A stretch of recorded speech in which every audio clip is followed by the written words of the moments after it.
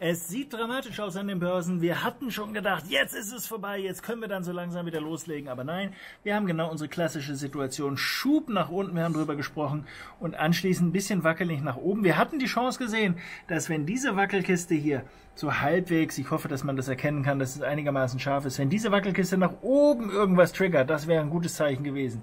Alternativ, wenn es auf der Unterseite getriggert wird. Das haben wir gesehen, der Markt ist tatsächlich gefallen.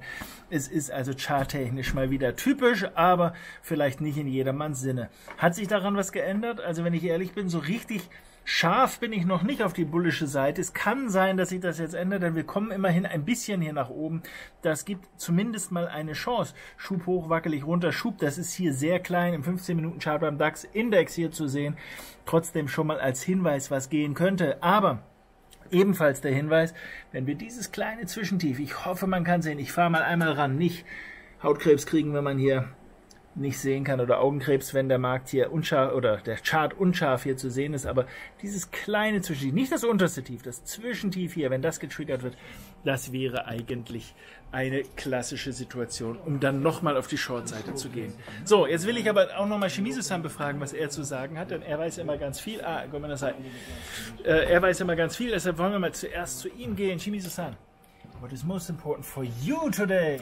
If you didn't know, and if you are a member of the Parliament of uh, United Kingdom, you better go back to London because uh, session is on. You, if you if you're thinking you could stay in, in a beach until like, October 14th, uh, well, that's has uh, there has been a significant change there, and uh, uh, chances are that again UK will leave EU with some kind of agreement where the Prime Minister Johnson is obligated to have such agreement. I guess so. So we're back in there, and uh, sterling is gaining today against the euro, against the dollar, against the yen, and uh, obviously.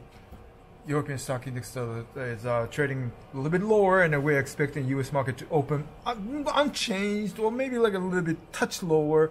Uh, this is uh, we have only a few days left in September end of the third quarter. Uh, there's a lot of things in there, but then again, we can't really focus any one of those things. This is the age, or this is the day that you're living. Happy trading. Thanks a lot. Thanks for your insights. Okay, ich werde das nochmal schnell zusammenfassen.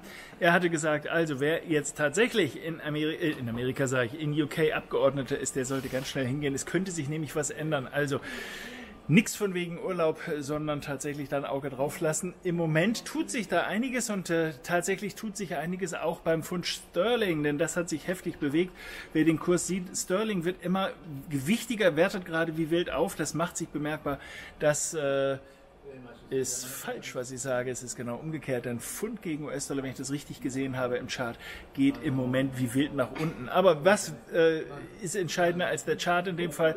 Naja, wir gucken einfach auf die Bewegung. Die ist heftig eben in dem Fall nach unten. Das heißt, wir brauchen weniger Dollar, um hier noch auf das Pfund Sterling da zu kommen. Wir wissen offensichtlich, tut sich da was. Was sich tun wird, ja, das weiß keiner so richtig.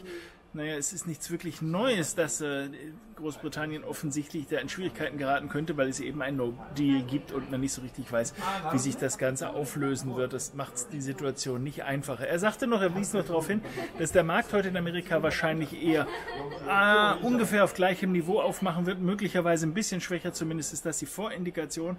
Insgesamt, wir haben eben auf den DAX-Index ja schon mal geguckt, sieht es gar nicht so toll aus, weil die Schübe zumindest noch mal nach unten gehen. Jetzt ist es also entscheidend zu gucken, wohin kommt dann mal wieder ein Schub oder wann kommt mal wieder ein Schub nach oben und wenn das passiert, möglichst korrektive Rücksätze, um dann eben in den Markt reinzukommen. Das kann man eigentlich ähm, als einziges im Moment empfehlen, denn nachrichtentechnisch, die ganz großen Nachrichten aus meiner Sicht, die fehlen im Moment im Markt, aber wir sehen, dass der Markt doch relativ panisch auch auf nicht ganz so große Nachrichten im Moment reagiert und deshalb sollte, könnte, müsste man da in dem Fall ein bisschen vorsichtiger sein. So sagt Shimizu-san, ich sehe es genauso und äh, empfehle da genau auf den Chart drauf zu gucken. Ich muss jetzt hier zum Ende kommen, denn die Sendung startet in wenigen Sekunden und deshalb kommen wir hier nochmal einmal zum Gruppenbild zusammen. Shimizu-san, where are you? Ah, sticky. Okay, das ist das Gruppenbild mit Dame. Hier zum Schluss nochmal euch alles Gute, einen wunderbaren Trading-Tag und toi toi toi. Alles Gute. Toi, toi, toi.